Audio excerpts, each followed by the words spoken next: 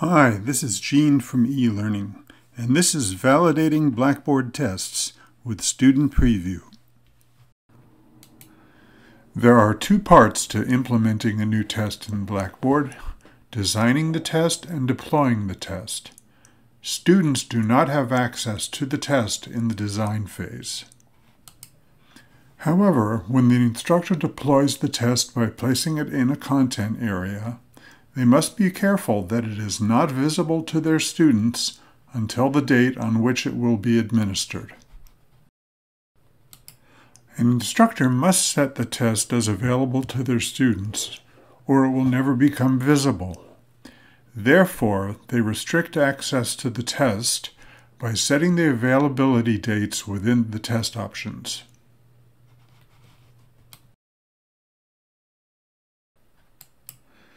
There are a number of other test options an instructor needs to set in which they would like to validate before they present the test to the students. For this, they want to use their preview student to take the test in the same way that one of their actual students would. This video shows a potential obstacle that may occur in doing that and how it can be overcome.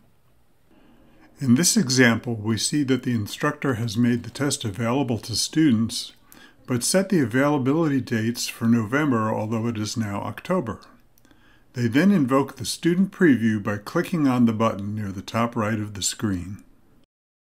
Next, they try to take the test as their preview student, but discover that they cannot as they are subject to the same date limitations as their own students. However, there is a workaround. One of the test settings is the test availability exceptions. This is normally used to allow students needing special accommodations to have a special availability or duration period during the test. In this case, as the instructor, we will set the test availability exceptions to allow the instructor to have early admission to the test using their preview user. To add an exception for the preview user, in the Test Options window, scroll down to the Test Availability Exceptions and click Add User or Group.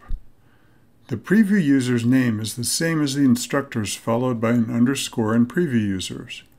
It is that name to which you will grant an exception. Select the preview user from the list of students, then choose today's date and the current time to gain access to the test right away.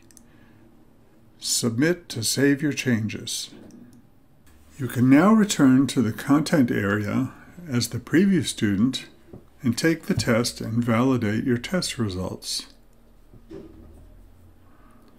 You can also verify that the test results are posted to the student's My Grades either as needs grading or as a grade, depending on the type of questions on your test.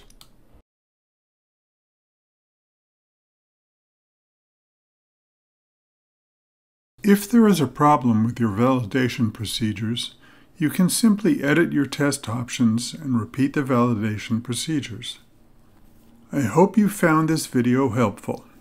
For further information, please visit our website elearning.umb.edu or email elearning at umb.edu.